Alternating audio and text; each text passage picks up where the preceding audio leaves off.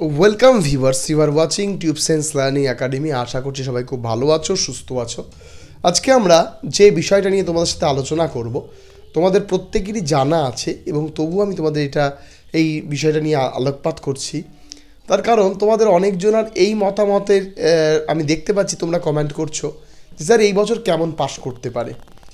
তো যেটুকু আমার ব্যক্তিগত অভিমত, এই বছর না অনেক পাস করবে। এর আগের বছরে ষোলো হাজার, সতেরো হাজার যে পাস করেছিল আমার মনে হয় এই বছর ফর্টি ফিফটি থাউজেন্ডের কাছাকাছিও চলে যেতে পারে।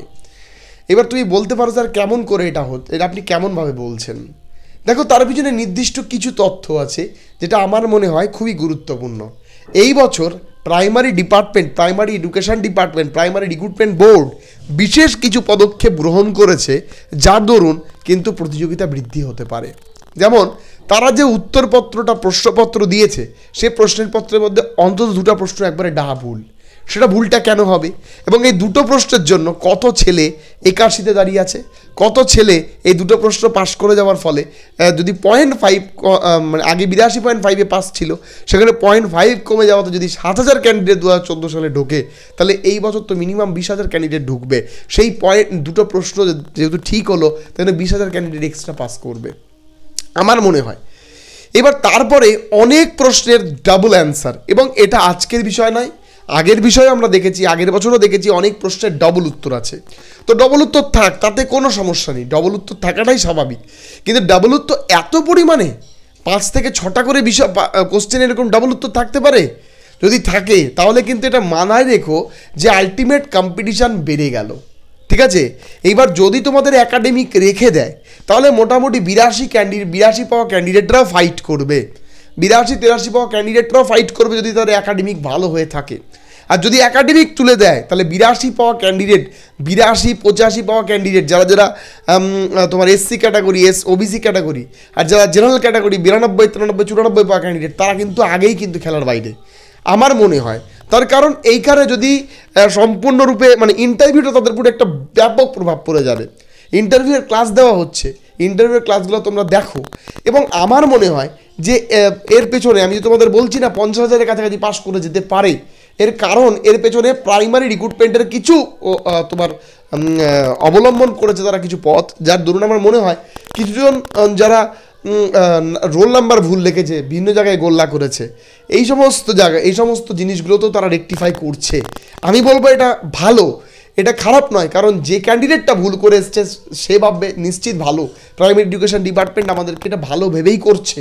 কিন্তু সত্যি কথা বলতে, কোনো কম্পিটিটিভ এক্সামে এইরকম ধরনের সিদ্ধান্ত বা পথ কেউ গ্রহণ করেছে প্রিভিয়াস কোনো এক্সামিনেশানে আমার মানে আমার তো দৃষ্টিগোচর হচ্ছে না।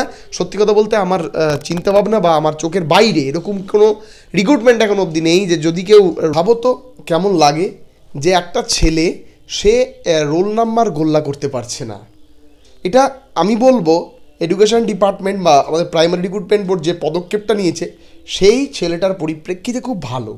কিন্তু এরকম পন্থার দ্বারা সে যে এগিয়ে গেল না সে ভবিষ্যতে ডিপার্টমেন্টে প্রাইমারি স্কুলে যদি সে চাকরি পায়, সে যদি সঠিকভাবে, আমি বলব ডেফিনেটলি সে তার ভুল দূর করবে, যদি দূর না করে তার একটা ছোট্ট ছোট্ট ভুল পরদিকে, পরবর্তীতে একটা বড় ভুল নেবে।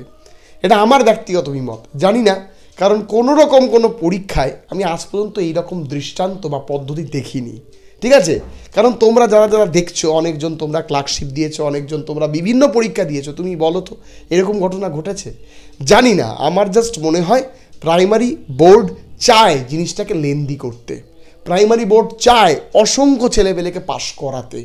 ঠিক আছে? তাছাড়া কোনো কারণ নেই। ঠিক আছে? তো ফলে সর্বদিক, সর্বস্তর বা সর্বদিক চিন্তা ভাবনা করে আমি তোমাদের সামনে একটা মন্তব্যই রাখতে পারি যে প্রচুর সংখ্যায় পাশ করবে। ঠিক আছে? প্রায় আশি থেকে নব্বইয়ের মধ্যে ক্যাটাগরি আর নব্বই থেকে পঁচানব্বই, ছিয়ানব্বইয়ের মধ্যে আমাদের জেনারেল কাস্ট তুমি দেখবে প্রায় সেভেন্টি পার্সেন্ট থাকবে। আমার ব্যক্তিগত অভিমত। এবং সেই রেসপেক্টে যদি একাডেমিক তুলে দেয় তাহলে সে রেসপেক্টে ভিন্ন রকম কম্পিটিশান আর একাডেমিক যদি রেখে দেয়, সেক্ষেত্রে ভিন্ন রকম কম্পিটিশান ঠিক আছে? একাডেমিক যদি রেখে দেয়, তাহলে সেই রেসপেক্টে আমার মনে হয়, যারা আজকে সাতাশ, আঠাশ করেও পাচ্ছে, তারাও ব্যাকফুটে যাবে। আমি যে সমস্ত ছাত্রছাত্রীর সঙ্গে কথা বলছি, তারা অনেকজন আছে, বিরাশি পাচ্ছে বাট তাদের একাডেমিক এত ভালো, সে উনত্রিশ উনত্রিশ পয়েন্ট থ্রি এইট চলে যাচ্ছে। এটা সম্ভব, এটা হচ্ছে, ঠিক আছে? তো ফলে সেই রেসপেক্ট এবার তুমি একশো দশ পেয়েও ফাইটে থাকছো না। তুমি একশো পেয়েও ফাইটে থাকছো না। ব্যাপারটা আছে। আবার আমি বলব, একটা প্রাইমারি রিক্রুটমেন্ট একটা এডুকেশন ডিপার্টমেন্টের চাকরি, তুমি একাডেমিক না দেখিয়ে চাকরি করবে, সেটাও একটা বিশাল ভাবনার বিষয়। তো যাই হোক, সর্বস্তর বিবেচনা করার জন্য রয়েছে আমাদের হাইকোর্ট এবং আমাদের বিচারপতি মহোদয়। অবশ্যই সেটাকে পরিলক্ষিত করবে এবং তার যে সদ্ভাবনা মূর্তি, যে সমস্ত বিচার তো হবে, সেটা আমাদের সকলকেই মানতে হবে। এখন কবে তার শুনানি আসে সেটাই আমাদের দেখার এবং ডেফিনেটলি আমরা তার দিকে তাকিয়ে থাকব। ধন্যবাদ ভিডিও দেখার জন্য। দেখা হবে পরবর্তী ভিডিওতে যে কোনো ধরনের লেটেস্ট আপডেট এবং ক্লাসের জন্য অবশ্যই চ্যানেলটি সাবস্ক্রাইব করতে পারো। ডেসক্রিপশনে থাকা আমাদের টেলিগ্রাম চ্যানেলের সঙ্গে অবশ্যই যুক্ত হয়েও ধন্যবাদ।